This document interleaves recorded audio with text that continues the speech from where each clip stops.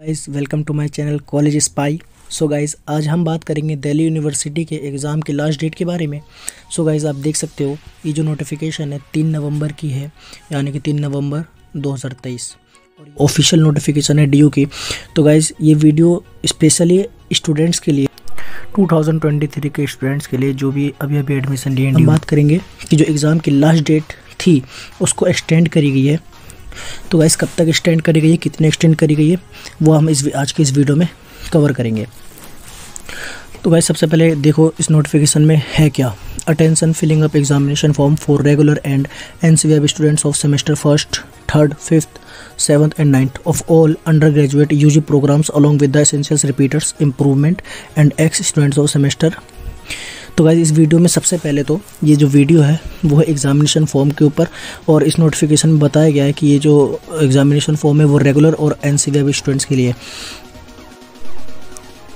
और गाइज़ इस नोटिफिकेशन में ये बोला गया है कि ऑल अंडर ग्रेजुएट प्रोग्राम यानी कि जितने भी अंडर ग्रेजुएट प्रोग्राम है जो भी ग्रेजुएशन में है। जैसे कि B honours B S C B com B com honours B A programme के कुछ कॉम्बिनेशंस जैसे कि history plus pol science Sanskrit plus physical education और भी सबको एग्जामिनेशन फॉर्म फिलअप करना है। तो गाइज़ बात करते हैं एग्ज़ाम की लास्ट डेट की एक्सटेंशन के बारे में। एग्ज़ाम के लास्ट डेट कब तक एक्सटेंड करी गई है। गाइज़ देख सकते हो कि तेरह तारीख ग्यारहवा महीना दो हज़ार तेईस, यानी कि तेरह नवंबर दो हज़ार तेईस। कब तक? ग्यारह फिफ्टी फाइव पी एम, यानी कि बारह बजने में जब पाँच मिनट बचता है eleven fifty five P M तक। तो गैज़ अब बात कर लेते हैं कि इस फॉर्म को भरना कैसे है। गैज़ मैं अपनी अगर बात करूँ तो मैंने इस फॉर्म को बहुत पहले फ़िलअप कर दिया है।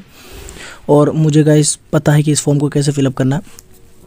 तो गैज़ मैं बताता हूँ आप लोगों को सबसे पहले तो आप लोगों को इस वेबसाइट पर जाना है S L C dot U O D dot A C dot in इस वेबसाइट पे जाने के बाद आप लोगों को क्या करना है, सबसे पहले अपना बेसिक जो डिटेल है लाइक सिलेक्ट प्रोग्राम जो कि यहाँ पर आप लोगों को लिखा हुआ भी मिल जाएगा इस नोटिफिकेशन में, इस बुलेटिन में ड्यू के।